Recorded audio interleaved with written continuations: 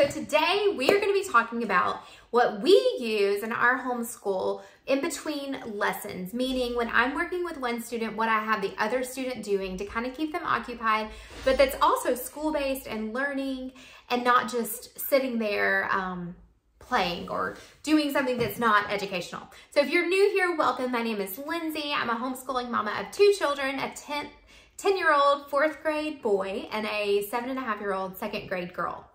And so I am so glad you're here and grab you a cup of coffee and let's get started.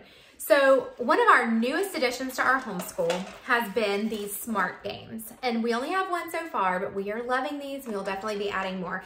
These are logic critical thinking games, and they are meant for one person.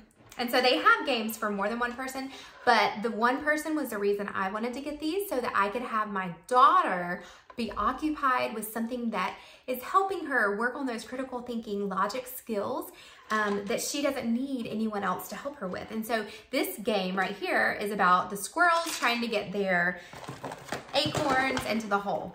And so it gives you how to set up the game all the way from starter to the most challenging those are the solutions. Most challenging, which would be the wizard level. And so truthfully, I sat there yesterday and did about 20 different levels because it was so fun. So we will definitely be adding more of these to our homeschool. I highly recommend these. I got this one off Amazon. It was under $20. I highly recommend them. I'll link it down below. Another hands-on thing that we've had for a couple years are these Creature Gears by Learning Resource. Um, my daughter has made a standard poodle. We've made cars, all sorts of things. And in fact, something I'm about to show you, we even use this today to actually see how the gears turn. So I highly recommend these. We've had these again for a while. This set came from Costco. A new addition as well that I got off Amazon as well was this Logic Workbook for Gritty Kids, ages 6 to 10. And this has over 150 activities. We just started this and I like it. It is challenging. In fact, this one is not finished because it's really challenging. Um, but this is something I can give her minimal instructions and have her do.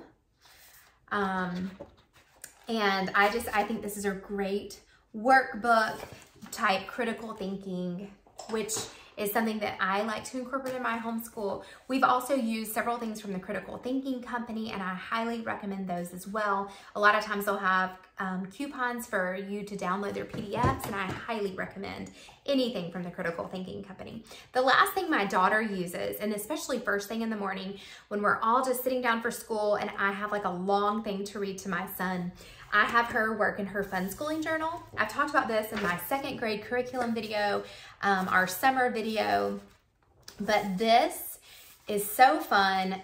It's very minimal um, instruction from me, if any, and she can just turn to a page and get started. This was created by a dyslexia, a mom of dyslexic children, and so there's dyslexia games in here, all sorts of stuff. There are oodles of this on Amazon. Um, but fun schooling, there's curriculum, all sorts of stuff. This is all we use and we love it. So again, these are just a few things. Two other resources that we use I've talked about before. My daughter uses Nessy, which is on the computer to help with reading, spelling, typing.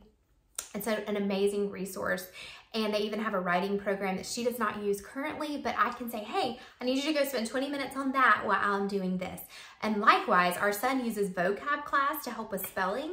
And so I can say, hey, I need you to go spend 20 minutes on this while I'm working with your sister. So those are just some of the things we use in our homeschool. Let me know down in the comments what you use to help your student while you're working with the other student. And also some of your favorite resources. Do you use critical thinking in your homeschool? I'd love to know more. As always, thank you for watching and have a great day.